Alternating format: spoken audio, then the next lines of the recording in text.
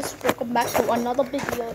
And as you could see on the bottom right this is mega photo. So sorry about that. I just accidentally deleted open camera. So sorry about that. And i got a TRACE-E box from spidey and his amazing friends the disney junior series. Wait can zoom in? So i got this at walmart actually i, I, I